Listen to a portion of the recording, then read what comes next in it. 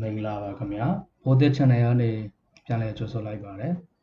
ဒီနေ့ပြောပြမယ့်အကြောင်းကတော့တင်သတိမထားမိတဲ့ကြံကြံဖန်ဖန်အချက်၁၂ချက်ပဲဖြစ်ပါတယ်ကျွန်တော်အစီအစဉ်လေးမစတင်ခင်မှာကျွန်တော်ရဲ့ YouTube channel လေးကို subscribe လုပ်ပေးကြပါဦးလို့တောင်းဆိုချင်ပါတယ်ကဲအစီအစဉ်လေးစကြရအောင်နံပါတ်1ဖြမ်းမြအားဖြင့်လူတစ်ယောက်အတွက်မီးပွိုင်းမှာအကုန်ဆုံးတဲ့အချိန်ကိုပေါင်းလိုက်မယ်ဆိုရင်စုစုပေါင်း 14ရက်နှစ်ပတ်လောက်ကြာတယ်တဲ့ဗျာမြန်မာနိုင်ငံမှာဆိုရင်တော့အဲ့ထက်ပုံမလားနော်နံပါတ်2 2015ခုနှစ်တုန်းကစူပါမင်းပုံတွေကိုကြွေပြားစေးရဲ့ခေါင်းပိုင်းအဖြစ်အကြွေစစ်3သိန်း5000ထုတ်တဲ့နိုင်ငံရှိတယ်ဗျအဲ့နိုင်ငံဘယ်နိုင်ငံဖြစ်မလဲနော်ဟောကနေဒါနိုင်ငံနဲ့ဗျာထင်တော်မထင်ထားမိဘူးဗျအစိုးရကကလေးတွေကြိုက်လုပ်ပေးတာထင်တယ်နော်နံပါတ်3 1994ခုနှစ်တုန်းကဒေါ်လာတန်ပေါင်း100ကုန်ကျခဲ့တဲ့အကုန်ကျများဆုံးရုပ်ရှင်ကားတကားရိုက်ကူးခဲ့ပါတယ်။ဘယ်ကားဖြစ်မယ်ထင်လဲ။အင်္ဂလိပ်လို True Lies လို့ခေါ်တဲ့မြန်မာလိုဆိုရင်မှန်ကန်တဲ့လိမ်လည်မှုလို့ပြောရမှာပေါ့နော်။အဲဇာကားဖြစ်ပါတယ်။မြန်မာချက်ငွေနဲ့ဆိုရင်တော့ကျပ်တန်ပေါင်း3သိန်းနဲ့4000ကျော်ရှိတယ်လေဗျာ။နည်းနည်းတော့တော့မဟုတ်ဘူးနော်။နံပါတ်4လူတစ်ယောက်ကတနေ့မှာ ပြားမြ14ချိန်လေးလဲတယ်တနည်းအားဖြင့်ဆိုတော့နော်ရီးပေါက်တယ်တဲ့ဗျာတစ်ချိန်လေးလဲတိုင်းမှာတနာရီ9မိုင်နှုန်းနဲ့ထွက်လာတယ်လို့ဆိုတယ်ဗျသတိထားမိလားမသိဘူးနော်နံပါတ်5တင်စဉ်းစားတဲ့အခါတင်အောင်တော့က10ဝက်အပူချိန်10ဝက်နဲ့ညီမျှတဲ့စွမ်းအားကိုအသုံးပြုတယ်တဲ့ဗျာဒါပေမဲ့တင်အောင်တော့ကနာကျင်မှုတံအပူတံမခံစားရဘူးလေဗျာစဉ်းစားမိလားမသိဘူးနော် နံပါတ်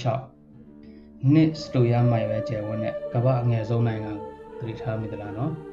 ဒါကတော့ Vatican City State လို့ခေါ်တဲ့နိုင်ငံဖြစ်ပါတယ်အများစုတည်ကြမယ်လို့ပြောလင်းပါတယ်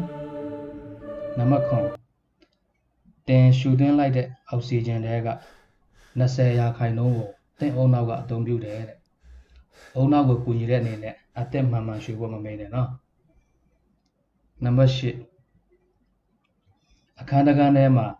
လူ23ယောက်အတူရှိနေတဲ့ဆိုရင်တော့လူ2ယောက်ရဲ့မွေးနေ့တူနေနိုင်တယ်တဲ့အဲ့လိုတူနိုင်တဲ့ဖြစ်နိုင်ခြေက90ရာခိုင်နှုန်းရှိတယ်တဲ့ဗျာကြုံတဲ့အခါစမ်းကြည့်လိုက်အောင်နော်နံပါတ်9သင်္ခန္ဓာကိုယ်ကကိုယ်ရင်းအင်္ဂါထဲမှာဦးသိန်းဒါမှမဟုတ်ရင်ဦးအကြီးနဲ့အသေးရှိတဲ့ဦးအသေးပေါ့နော်အဲ့ဦးအသေးကအရွယ်အစားအဖြစ်အကြီးဆုံးတဲ့ဗျာ ဟုတ်မဟုတ်တေချာသွားအောင်ကိုနီးနာကဆရာဝန်တရားရောက်ကိုမေးကြည့်လိုက်အောင်နော်နံပါတ်30လူနှာခေါင်းကမတူညီတဲ့အနံ့ပေါင်း9000ကိုမှတ်မိနိုင်နေတယ်ဗျာယုံကတော့ခက်ခက်ခက်ပဲနော်နံပါတ်71စကော့တလန်နိုင်ငံနဲ့ဂျပန်နိုင်ငံကနေရာတချို့မှာညကြရင်လမ်းမီးကိုအပြာရောင်ပြောင်းပေးလိုက်တယ်တဲ့ဒါကြောင့်ဒူးစရိုက်မှုနဲ့ကိုကိုကိုတတ်တယ်မှုဆွေးဆိုင်ပါနော် တေချောင်းကြံစီမှုရောကျသွားတယ်တဲ့တို့နိုင်ငံမှာလည်းလုပ်ကျင့်ကောင်းမလားနော်နံပါတ်7ခုခေတ်မှာလူသုံးများတဲ့ Bluetooth လို့ဆိုတဲ့စကားလုံးဟာ10ရာစုခုနှစ်တုန်းကရှင်ဘရင် Harald Bluetooth ရဲ့နာမည်ကို အစွဲပြုပြီးတော့ခေါ်တာတဲ့ဗျာ။ဘာကြောင့်လဲဆိုတော့သူကဒိန်းမတ်နိုင်ငံနဲ့နော်ဝေးနိုင်ငံကို Bluetooth ချဲ့တယ်လို့မျိုး ချစ်စစ်ပေးနိုင်ခဲ့လို့ညှိနှိုင်းပေးနိုင်ခဲ့လို့တဲ့ဗျာ Bluetooth တုံးတိုင်းဘရင်ကြီး Harald Bluetooth ရဲ့နာမည်ပြရလိုက်ပါအောင်နော်ဒီလိုဘုသူဒ္ဓရစရာကြံကြံပန်ပန်အတွေ့အကြုံများဗီဒီယိုတွေကိုဆက်လက်ကြည့်ရှုခြင်းနဲ့ဆိုရင်တော့ Potet Channel လေးကို Subscribe လုပ်ထားဖို့နေတယ်နော်ကျေးဇူးတင်ပါတယ်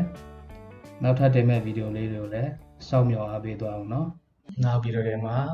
ပြန်လည်ဆုံတွေ့ကြစို့ အားလုံးဘိုင်ဘိုင်ကျေးဇူးတင်ပါတယ်